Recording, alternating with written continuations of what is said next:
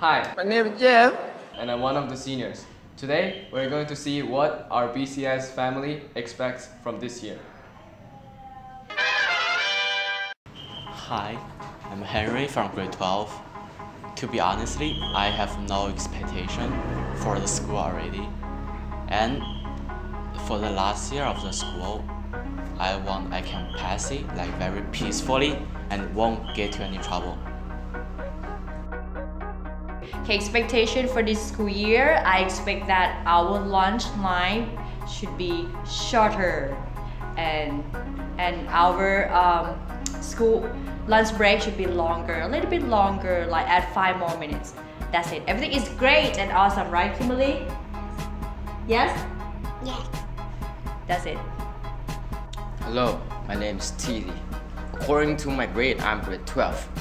There's just one expectation for the school that I have. Improve your facility. Buy more expensive things in the school. Don't let us use some cheap stuff that when you click it, it's broken. That's what I want. Thank you.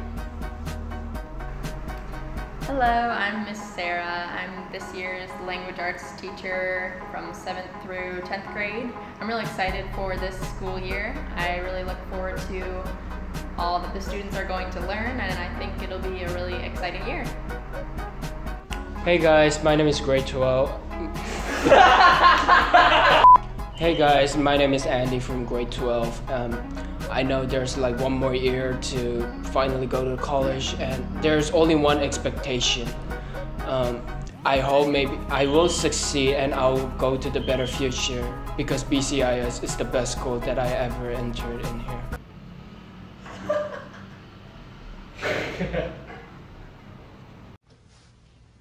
That's bullshit. Our expectation for, For this, this year is, is for, for David, David to graduate. Congratulations, David. Yay! Finally! Yo, what's up? My name is Caleb. I'm from grade 12, and I, I have one expect.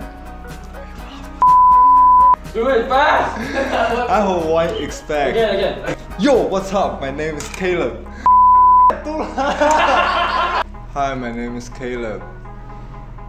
I'm from grade 12, and I hope this year I can fill all my credit. Then I also I can get a good grade in SAT. Then I go to a good college in state.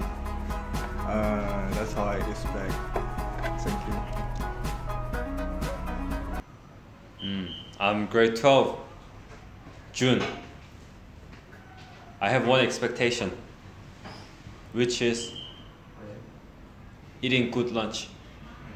Only that.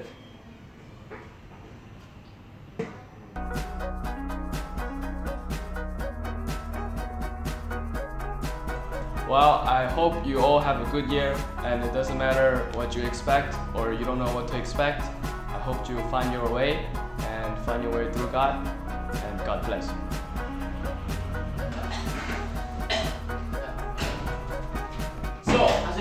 From the expectation, as